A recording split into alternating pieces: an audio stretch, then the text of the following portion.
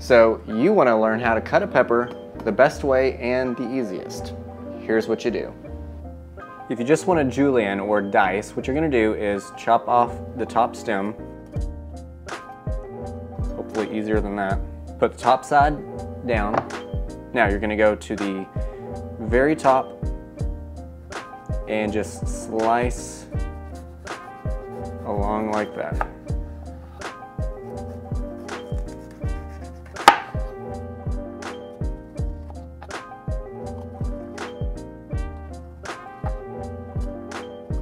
Easy as that.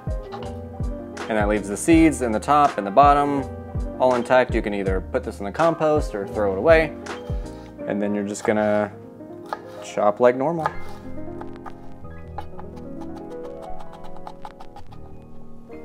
Or if you wanna do rings, what you're gonna do is just chop off the top